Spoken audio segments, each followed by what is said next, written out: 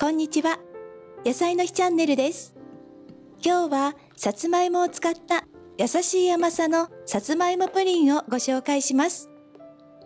いつも家庭にある材料でとっても簡単に作れますので最後までぜひご覧ください。さつまいもは2、3センチの間隔に切ります。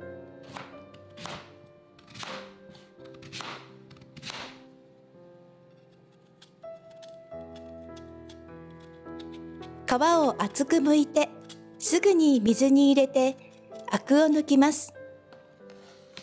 つけておいた水が濁ってきたらさつまいもを取り出して鍋に入れてさつまいもがかぶるくらいの水を加え柔らかくなるまで茹でます。箸でスーッと通るくらいに柔らかくなったらお湯を捨てて熱いうちによく潰します。熱いうちに潰すと簡単に潰すことができます。冷めるとさつまいもの塊が潰れにくくなりますので、できるだけ熱いうちに潰してください。牛乳を加えてさらに潰しながら混ぜてペースト状にします。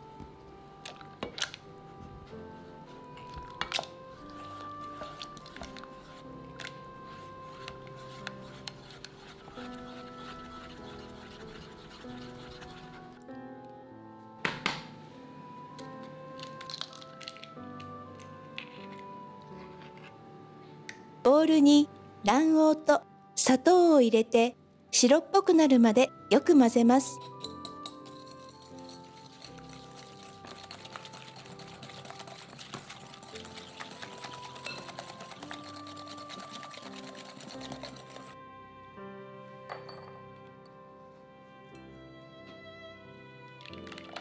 さつまいものペーストをこしながら加えます。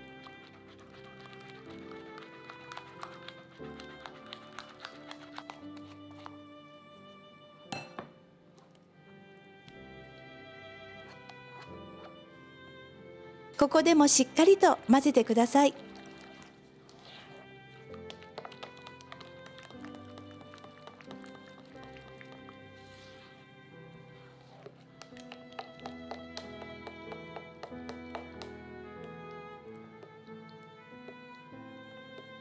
バニラエッセンスやバニラベーストを加えてよく混ぜます。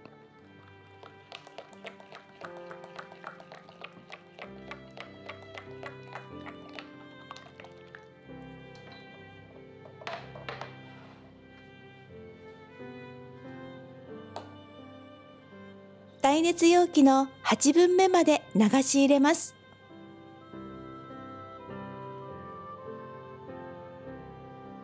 さつまいもはかぼちゃに変えても美味しくできます。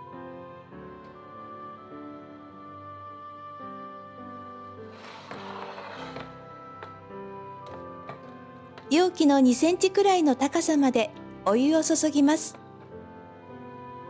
すぐに160度に予熱をしたオーブンで15分を目安に焼きます。プリンの表面が少し盛り上がっていたら焼き上がりです。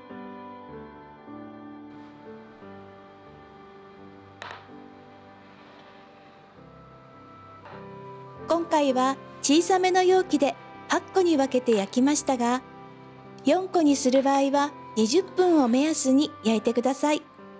一つの大きな容器でも焼けますが、30分から40分を目安にゆっくりと焼いてください。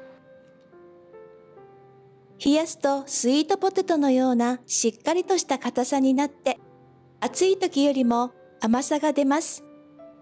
滑らかでとっても美味しいプリンです。特別な材料は使っていませんので、ぜひ気軽に作ってみてください。さつまいもの皮を使った美味しいイボけんぴは次回の動画でご紹介します。